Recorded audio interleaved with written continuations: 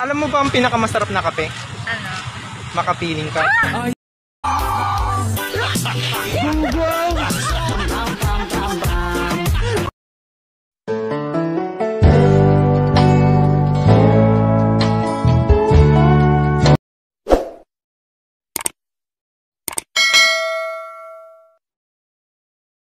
Kung magkakapera man ako, sana asing kapal ng mukha mo.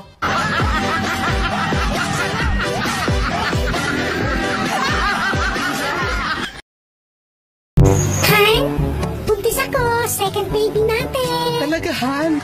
Wow, ang saya-saya ko. Promise, iiwan ko na lahat ng mga kabit ko. Pangako yan sa'yo. Wow! Thank you, Han! Promise din sa susunod na anak natin, ikaw lang, Ama.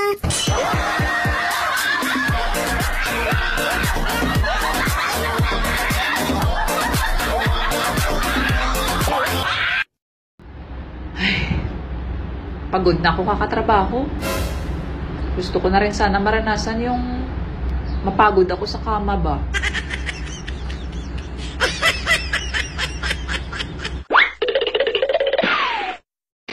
Tinawag mo akong mahirap? My God. Don't you know that I have airplane on my phone?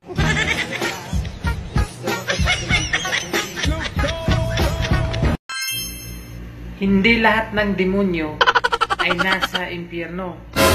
Yung iba, ex mo.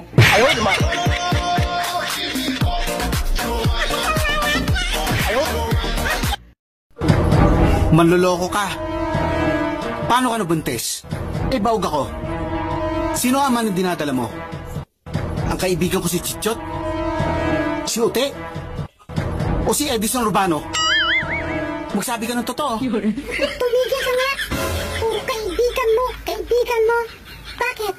Wala ba akong friends?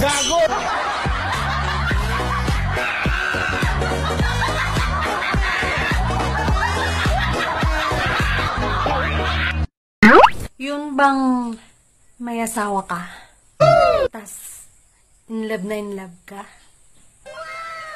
sa iba.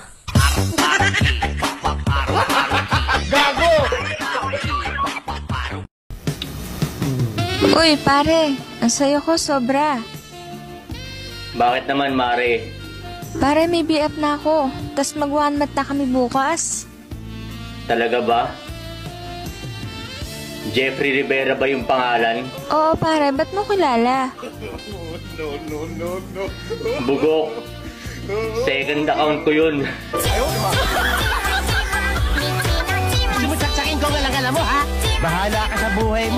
Kung tinood nga na kay panglasa, tilawi daw ko be.